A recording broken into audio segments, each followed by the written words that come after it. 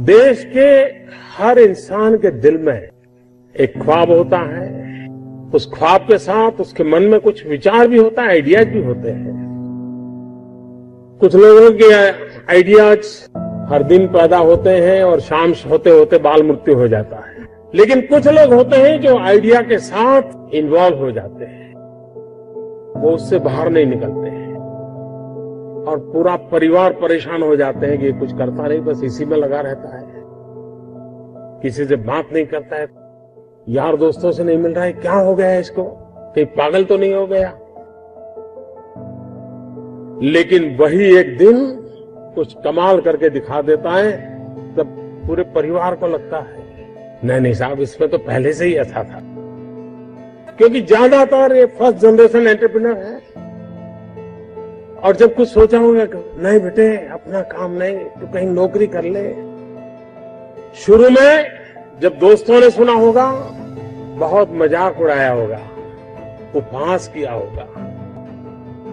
जाते आते आपको उसी उपनाम से सुनाते होंगे, ये कुछ करने वाला है, ये करने वाला है। फिर एक पल आया होगा, सारी दौर विरोध हुआ होगा।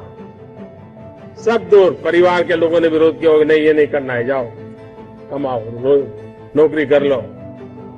उस विरोध के बावजूद भी जो टीके होंगे, आज सब लोग कहते होंगे कि यार इसने तो कमाल कर दी। कुछ ऐसा मुझे भी करना है। हर किसी के स्टार्टअप की ज़िंदगी की यही कहानी है। विशाल और सफल कारोबार का निर्माण करने के लिए असफलताओं से बचा नहीं जा सकता। जो पानी से भागता है, वो कभी तैरना नहीं सीख सकता है एक बार तो डूबना ही पड़ता है, तब जाकर के तैरना शुरू होता हर चीज़ की कहीं शुरुआत होती है तो जो करता है, उसी को दिखता है क्या होने वाला है, औरों को वही दिखता है कि पागल है।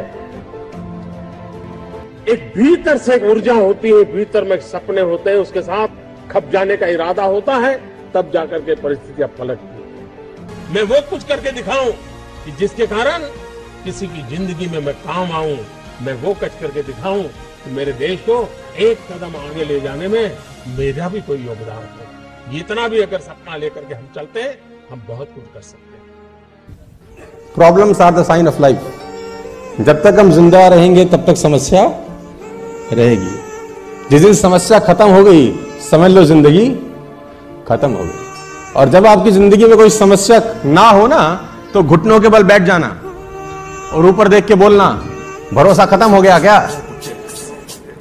अगर नहीं तो समस्या भेज, निपट लूँगा, चिंता मत कर। जंगल में सुबह जब हिरन जागता है तो सोचता है, आज अगर मैं जीजान से नहीं भागा तो मारा जाऊँगा। उसी सुबह एक शेर जाता है और सोचता है, आज अगर जीजान से नहीं भागा तो मैं भूखा मर जाऊँगा। शेर हो या हिरन, भागना तो पड़ेगा जब कोई पूछे मेरे बारे में तो मेरी ये पहचान लिख देना। उठाना मेरा कमांडो डैगर और छाती पे हिंदुस्तान लिख देना।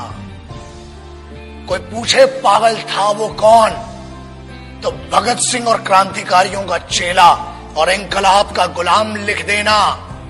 और बचा हो जो जिस्म में लहू मेरे। निकालना उसे, फेंकना जमी पे और माँ तुझे सलाम लिख दे जब तक तोड़ेंगे नहीं, तब तक छोड़ेंगे बहुत है लंबा दंगल चलेगा रे तो तैयार है। तैयार है।